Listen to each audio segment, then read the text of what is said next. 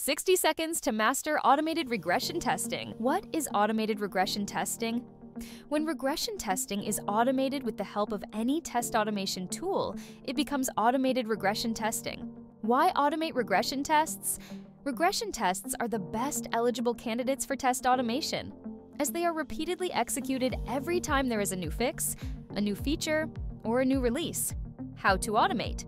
Choose a tool to automate regression tests based on your requirements. For example, if you are testing website UI, you will need a tool for website test automation.